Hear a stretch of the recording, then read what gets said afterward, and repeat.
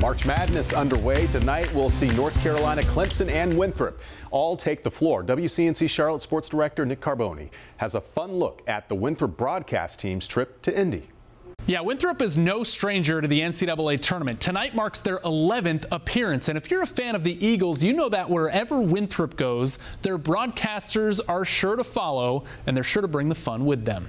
Mike, we're back on the road on the road to Indianapolis. Winthrop broadcasters Dave Friedman and Mike Pacheco have been everywhere, man, and they've eaten everything along the way. We literally have gone as far west as San Francisco and had dim sum in San Francisco, and then uh, you know, just this week when we were in Cincinnati, Skyline Chili. While the team flew to Indianapolis, Mike and Dave drove, and just like broadcasting, they have different styles. Mike has a teenage son and wants to be a good role model, and I believe in getting places as quickly as humanly possible.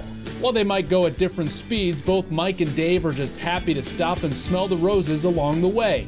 And the chicken, too. Then we went to Corbin, Kentucky, where the original KFC was uh, founded and we kind of learned the whole story. The trips are actually part history lessons, like their stop at Cincinnati's Major League Stadium. More than Charlie Hustle, Pete Rose.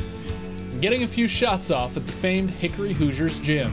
And we did make the baskets, by the way. Mike and Dave have broadcasted together for 15 years.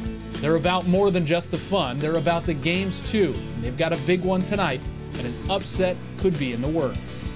I think it's their depth, Nick, to be honest with you. I but Winthrop just sends wave after wave after wave. Winthrop's depth late could be a big factor in this game. I think Winthrop is incredibly versatile. Of course, they're playing a team that's coached by a guy that's won two national titles, so nothing's going to come easy.